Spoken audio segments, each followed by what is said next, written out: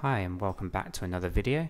Today we're going to be talking about uh, Microsoft's Planner and how it integrates into um, both Microsoft Teams and Microsoft Outlook. Um, so, let, so let's get started. Um, to start with, we'll assume that you have a pretty good knowledge on um, the structure of Microsoft Teams with the navigation or the main navigation bar down the left um, with your teams and channels in this section here, and then your main portal window um, over on the right, which takes up the majority of the screen.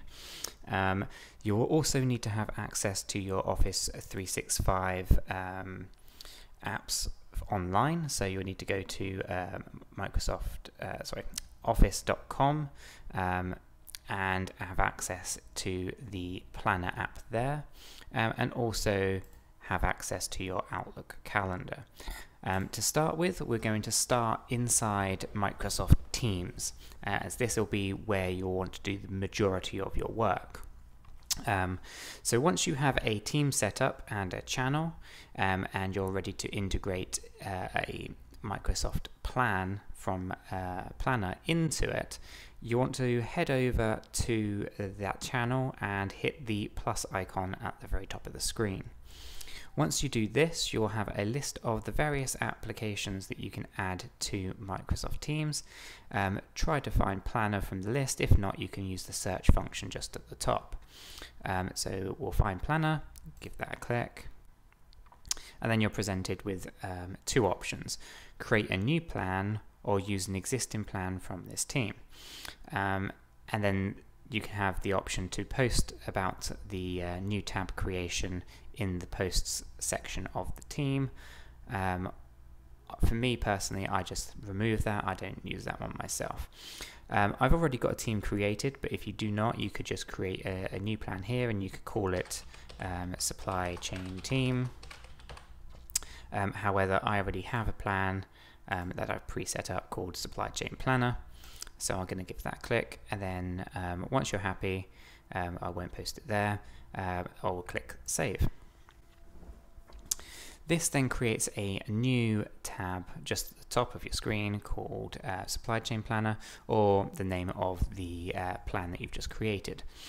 Um, for those who are not familiar, um, within the um, main section here of the plan, you have three options on the left hand side.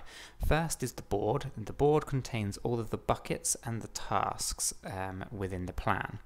Um, so for this example, I have actually created um, four buckets and a example test um, task. The next one, the charts option, shows you the progress of the uh, of the tasks that you've created. Um, so the status, um, not started, in progress, late, completed um, the buckets, so bucket one, two, three, and four. And what this does is it shows you a breakdown of by bucket what ones have not been started, what tasks are in progress, which tasks are late. Um, it won't show you completed. Um, and then the priority, so you can have the have them as urgent tasks, important tasks, low uh, and medium. Um, and the good thing about this little section is it lets you see your important tasks that haven't been started or your urgent tasks that haven't been started.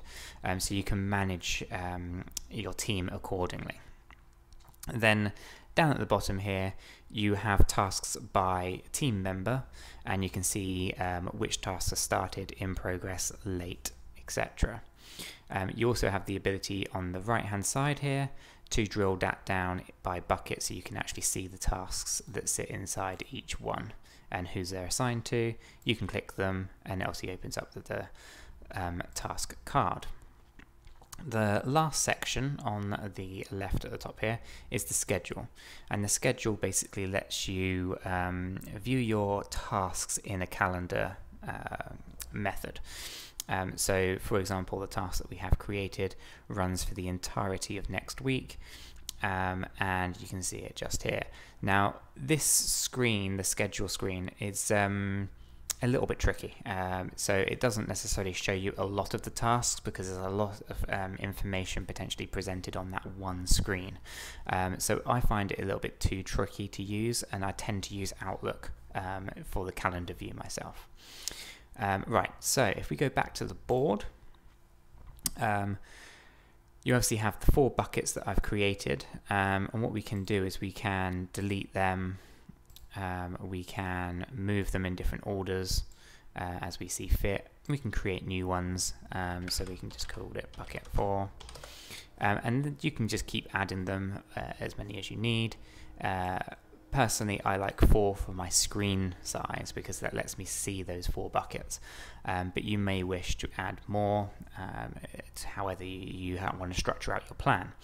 Um, in another video I'll probably talk about it in a lot more detail of how you can use the uh, Microsoft's um, Power Automate or the uh, former Flow um, to actually turn your buckets into a business process. So, you, for example, you could have something from um, bucket one could be source products, bucket two could be um, list products on um, operating system, and bucket three could be place the order. And then bucket four could be receive stock, right? And you, each um, task or each bucket um, would potentially fall to a different department and therefore different staff members or team members might want to do each one. Um, with Power Automate and Power uh, uh, and Microsoft Flow, you could um, have it automatically move the tasks across that business flow um, as uh, each task is completed by one employee, it can move over to another one, right? Another colleague can take it from there. Um, and I'll probably talk about that in more depth uh, in another video. For this video, we're, we're, mainly talking about how to integrate Planner into Microsoft Teams um, and how to then um, integrate the tasks that you create into um, Microsoft Outlook. So once you're happy with the buckets that you've created, um, you can create tasks. Um, so we can create a task in bucket 2, for example, and we'll call this a test task um, we can set a due date. Um, so this due date will be um, Tuesday. And again, I'll assign it to myself. Okay. Um, once that is done, um, simply add the task. And there it is. Now, by default, there is a limited amount of information that you can add to that task um, just by clicking add task here. So once you've added that basic level information, you click the task to open up the wider card. Um, and then from in here, you have various different options. So to start with, you can add it to multiple people uh, or different people uh, if you've incorrectly added someone. Um, you can change the bucket. Um, so if we wanted it in bucket 3 instead of bucket 2, we could do that. We can um, say that it's already in progress. We can say it's urgent. Um, we can also give it a start date, not just a due date. So we can say start it on Monday, finish it on Tuesday. And we can add some notes. Um, so we can say this is urgent. Um, please complete um, ASAP. Now, this option lets you add um, this note into the actual card itself um, which I can't show you from here. Um, and we can not show that on card. Um, this section here allows us to add a checklist like this one, right? So um, our task name is the main task, and then we can have a sub set of tasks that need to be completed in order for the main task to actually be complete. Um, in order to do that, we just click into a, a checklist and we say um, sub task 1 sub task 2 and this is the one that I prefer to show on card um, just like that. And you have various options. You can delete or you can reorder um, the tasks accordingly. I think I just hit delete by mistake. So we'll just go sub task 2 and press enter. Now this section allows us to add attachments to this task. So if um, the task relates to placing an order for um, a purchase order, then you could attach the purchase order here and instruct people to order what's in the attachment. Um, so you'd click here and you get two options. You get the ability to link um, to a document. So if you have a file in a um, shared drive or a NAS drive or something like that locally on your um, work network, you could use that. Um, I wouldn't advise that, however, because um, with uh, Microsoft Teams being a 365 application, uh, you can access it from anywhere in the world with an internet connection on any device. If you have a file locally on a NAS drive um, that requires VPN access, then you have to always be on that VPN um, network in order to access the file from the attachment. So instead, I would advise everyone to kind of move any key files that relate to Teams um, into the SharePoint. So you can click the SharePoint link, for example. Um, now, the other part of this that's really important to just note is that um, you can only attach documents that fall within the team that you've actually added the planner. So um, within this file section here, within um, the team supply chain and the channel general, um, those files you can add into either tasks. You couldn't add a task from a different team um, because that would be into a different file structure within SharePoint. Um, so it's this important note, make sure you've uploaded the files into the correct team if you would like to attach those into the um, tasks themselves. There is one exception to that, and it goes back to um, Power Automate. You can create um, tasks for plans um, and attach uh, documents separately. Um, but again, I'll probably cover that in a different video. Okay, so that's how you'd attach um, files. And then lastly, you have comments here at the bottom. Um, and the, the main function I see for comments is about trying to create an audit trail for how this task is performing. Um, or how you're progressing through this task. So if you had a delay um, on uh, delay on getting information, then you might want to put that on there, send that in, um, and then that will appear at the bottom here, and that becomes a part of your audit trail to say, okay, someone who accesses this task within the team can say, okay, there's a delay on getting this information, um, and therefore that's why it hasn't happened yet, um, and so forth. So it kind of gets um, more communication flowing um, across the team so everyone knows what's actually happening. Um, without that function there, you might be left to put the information into your notes, but then your notes section becomes really long winded.